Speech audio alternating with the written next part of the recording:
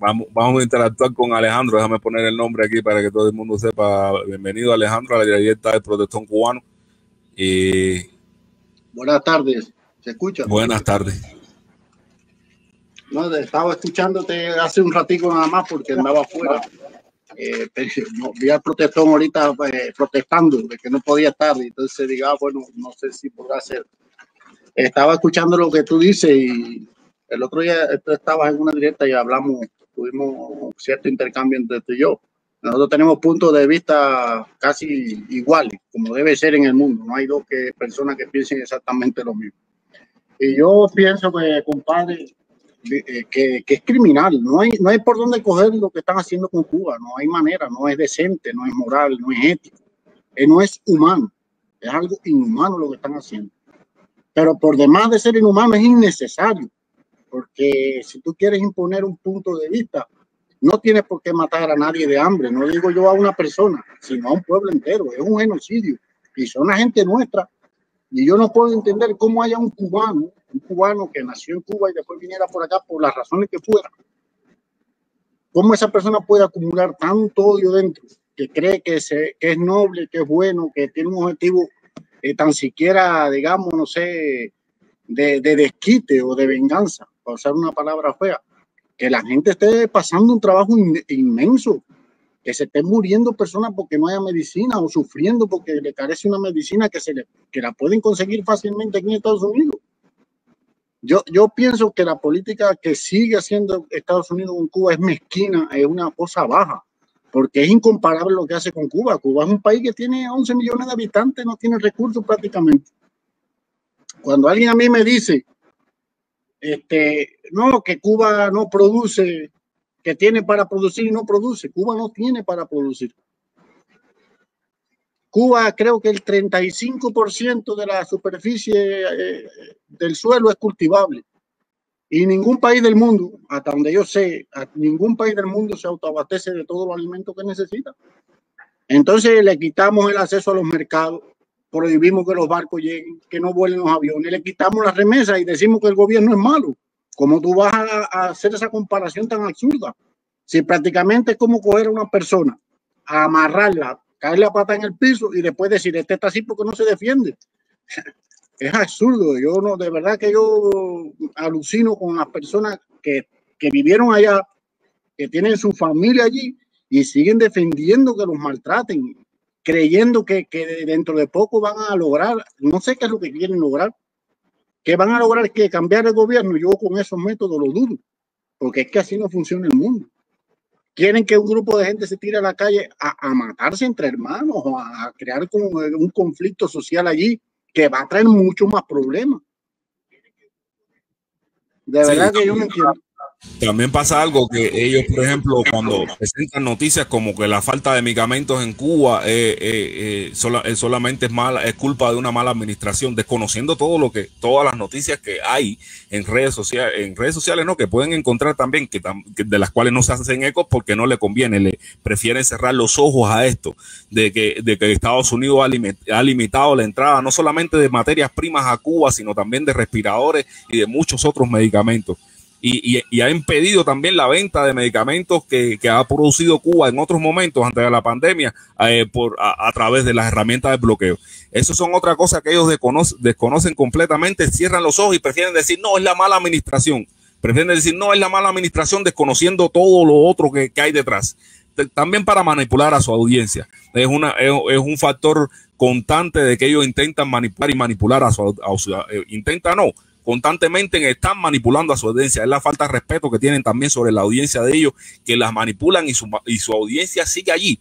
Sigue allí como carneros que, que como carneros que, que, han, que han aprendido, ¿no? han aprendido un carnerismo que no pueden abandonar, no pueden pensar, libremente, no pueden eh, eh, crearse una opinión propia y, prefieren escuchar las mentiras que provienen de ellos, contando una, una tras otra, una tras otra. Prefieren encontrar eh, eh, eh sin contrastar nunca la información, sin decirse, coño, ven acá, pero si no dejaron entrar dos contenedores de materia prima a Cuba, entonces la falta de medicamentos es por, por, por, el, por el mal gobierno. Por la, no, la falta de medicamentos no es por el mal gobierno, la falta de medicamentos es porque precisamente no dejaron entrar dos contenedores de medicinas a Cuba. Es algo que es algo nefasto que ocurrió y que ellos hicieron caso omiso, lo omitieron de sus plataformas, eh, lo, nunca lo dijeron y ocurrió, y ocurrió precisamente en marzo del 2020, el año pasado. Esto, esta noticia que le estoy dando desde el año pasado. Y entonces, eh, eh, es, bueno, como todos saben, la producción de medicamentos, bueno, como todos saben, no, el que no lo sepa, se entera conmigo, la, la producción de medicamentos es algo cíclico, es algo que, que o, sea, que tú tienes un plan como, como, como lo hacen en Cuba, que tienes un plan y vas, vas, eh, eh, y, ese, y ese, y esos dos contenedores precisamente que, que tuvieron que, que tuvo que devolver para no ser sancionado eh, la, la, la importadora esa de medicamentos a Cuba, son precisamente los medicamentos que le están faltando a los cubanos ahora. Mira, una cosa que la gente tampoco sabe o, no, se niega a creerlo o a saberlo es no solo eso del medicamento, sino que con esto de la, de la inclusión de Cuba en la, en la lista de países terroristas o que apoyan el terrorismo, que al final es lo mismo, es solamente un juego dramático de palabras para encubrir algo que se quiere decir. Se está acusando a Cuba de terrorismo. Eso incluye una serie de restricciones no solo financieras, sino que hay una lista negra en el mundo que incluye aquellos químicos que sirvan para ser explosivos o para crear armas químicas y eso parece algo, bueno, sí, que no usen, no sé, gasarín, pero resulta que lo que los nitratos, los cloros, los potasios eh, y toda esa, eh, todas esas, esas, cosas tan importantes para la industria química no las pueden importar directamente ni, ni abiertamente a Cuba, porque está sancionado como país terrorista. Y las, y las empresas que venden eso, pues se cuidan mucho de venderle a Cuba o a Corea o a Irán o a Siria porque Estados Unidos lo impide, pero en el caso de, Cuba todo el mundo sabe que es una, una justificación absurda y espuria, pero no dejan que entre cloro para clorificar el agua, no dejan que entren el nitrato para hacer, la, para hacer, para hacer lo, fertilizante para sembrar, para que esos mismos campesinos que dicen, coño, pero no dejan al campesino vender. Mi hermano es campesino y no hay fertilizante y con porquería de vaca y esas cosas, sí, muy bonito, muy ecológico, pero para tú tener una, una producción buena tienes que tener químico y tienes que tener mecanización. Eso está clarito para cualquiera que sepa de tierra y de agricultura y de economía. Ningún país se mantiene sembrando con bueyes. Eso es así. Será muy bonito y bueno, qué sé yo, pero no se puede. Entonces eso no lo ven, que cuando van y se ponen bravos porque no, no hay aspirina, no hay duralgina, no hay lo que sea, no piensan que eso no se hizo porque no hay manera de que entre a Cuba, porque no lo dejan, no te dejan ni que te lo vendan, no te dejan transportarlo, no te dejan nada. Entonces lo que te digo, tú no puedes acoger a una persona, amarrarla, caerle a golpe y después decir, no, este está siguiendo a golpe porque no se sabe defender, tú no lo dejas que se defienda. Exacto, exacto. Es algo, es, algo que ocurre, que ocurre con, con en Cuba y que más que en Cuba, no, que ocurre en la realidad cubana, porque esto concierne también a, a, los emigrados que se comportan de esa forma, de que prefieren cerrar los ojos a, eh, a, estos otros acontecimientos que, que son responsabilidad sin duda del, gobierno, eh, que son responsabilidad y mano del gobierno norteamericano y, y, que limitan al pueblo cubano precisamente, porque estos medicamentos no se lo va a tomar el, el, gobernador de Matanza o el primer secretario del partido de Pinas del Río. Esos medicamentos van dirigidos al pueblo cubano y después te dicen con una, con, con, una pasmosidad eh, que el bloqueo no existe, porque en Cuba entra apoyo. No, no es que, pueden importar medicamentos. Ellos tienen dos, dos, dos problemas. La gente aquí tiene dos problemas pollo para los cubanos y, y langosta para los, para los dirigentes, porque supuestamente los dirigentes del Partido Cubano se alimentan solo exclusivamente con langosta. Y ellos lo único que comen es langosta y eso. E, ese es su discurso estúpido. Esa es su justificación absurda. Es la manera de agarrarse a una, a una realidad que inventaron alguien. Alguien, no sé, que, que le dio por hablar porquería porque sabe que eso es lo que da rating. Yo de verdad que no entiendo. Este mismo muchacho, pero bueno, hay que, hay que muchos que son totalmente estúpidos, que no, no sé, bueno, algunos tienen algún ligero argumento y atisbo de, de, la realidad, pero Ultra es una persona que es un normal, ese hombre tiene que ser imbécil desde que nació. Eh, eh Madrid es, un, es una persona estúpida por completo, que quiere pintar una maravilla de país que nunca existió. Yo no soy un viejo, pero mis abuelos por suerte los tuve hasta los muchísimos años, casi todo 90 y 100 años y, eran personas que me hablaban con la verdad eran campesinos y me decían cómo eran las cosas. Yo con esta pamplina del movimiento San Isidro, que vi que, por, que un policía aguantando, yo te voy a hacer una anécdota. En la casa que vivía mi abuela antes del 59, ella estaba en el portal de su casa. Enfrente a la casa había un kiosco donde vendían refrescos y, compraban baratijas de esas botellas y cosas por centavos. Y había tres muchachos de 18 y el, más, y el mayor tenía 23 años. Y ya tú sabes, en esa edad y la cosa, había uno que había cogido un revolvito 22 que tenía su abuelo y se lo había puesto en el, en el pantalón para alardear. Muchacho que no estaba ni en nada. Pasaron los casquitos en un jeep. Se rieron los muchachos de eso. Cogieron y viraron. Le dieron una entrada golpe tremenda a los, a los muchachos, poco los matan. Allí nadie salió a defenderlo. Nadie salió a defenderlo. Y al más grande se lo llevaron. Y al otro día apareció ahorcado. Entonces me dicen que la policía asesina. Por favor, ustedes no saben lo que es una policía asesina. Vean los reportes de otros países, vean los de aquí de Estados Unidos, que con o sin razón se, exceden a cada rato con la violencia, por gusto. Acribillan a cualquiera porque sospechan, viven en un estado de nervio, no sé, es una cosa extraña. Entonces, Michael Osorbo le va arriba a un policía y, no pasa nada y, están llamando a la ONU, a la OEA, a los recursos, a los derechos humanos. Hasta la OTAN la invocan por eso. Yo pienso que es absurdo. La gente debería de, tener un freno y parar un momento y decir qué es lo que estoy haciendo. Yo no veo un mexicano diciendo que bloqueen a México, que no vengan más mexicanos o que se mueran de hambre, ni a un, ni a un salvadoreño, hay que a nadie. La única inmigración, emigración del mundo, la única, la única, y tengo experiencia de haber ido a unos cuantos países, es la cubana. Fíjate que hay algunos que me dicen, yo no entiendo cómo pueden por un tema político, querer que tu familia se muera de hambre, tú estás loco. Es que es algo increíble.